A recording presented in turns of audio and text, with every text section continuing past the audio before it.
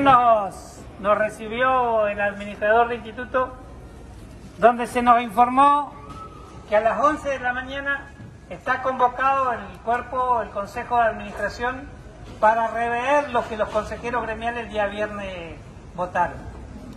Ya se designó y tienen el decreto de la nueva consejera por parte del Ejecutivo, con eso estaría completo el Consejo de Administración.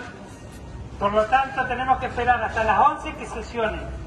Si los consejeros gremiales no llegaran a venir, es una posibilidad que hoy no quieran trabajar,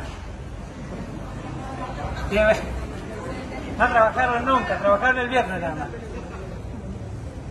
Deben esperar 45 minutos para que con el quórum propio puedan sancionar la fecha del 17 de marzo, dejarla establecida y ya con el procedimiento como estaba estipulado en la resolución del 10 de noviembre. Así que armémonos de paciencia, tengamos paciencia que por lo menos al mediodía vamos a tener que estar, pero nos tenemos que ir de acá con la certeza de que las elecciones son el 17 de marzo, como fueron convocadas originalmente, y no acomodadas como quiere el consejero de Aten, y él quiere que sea el 20 de, abril porque ese día hay jornada, este, tiene miedo de volver a trabajar. Así que compañeros, quedémonos acá.